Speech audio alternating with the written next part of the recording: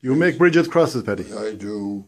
And what's the Bridget cross signify? St. Bridget uh, used to mind stock. And she was a great, great Irish. Pádraig Bridget, who was Columcille. They were the three great saints. And we had a, the custom, even old houses that were being demolished, we used to, to count the crosses. You could know about the age of the house. They'd make your rough ones, you cross them on St. Bridget's Eve. But the real way to do it, the head of the house takes off his cap and he blesses himself and he, he makes the the Bridget's cross.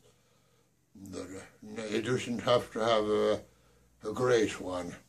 And his circle goes right round the house then, outside, and he asks St. Bridget's protection for all inside the house and round the house for the coming year.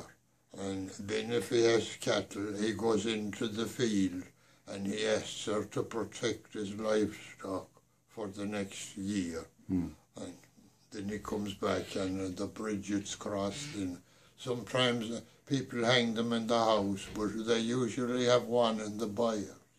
Mm. And what do you make them out of?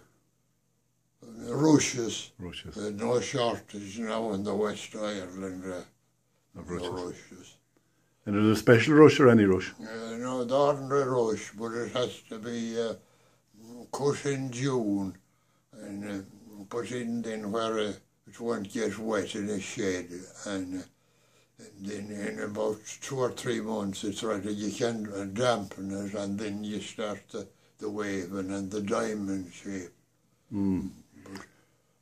And uh, do you you make them yourself? You do, yeah. Um, I made thousands. Some went out to Spain, yeah. out to Australia, to America. And do you sell them? No, I, no. I don't take money for for anything. You don't take it? Even students that come to me, they're poor enough without charging them. Okay, well I, done. And I help them with the old time stuff and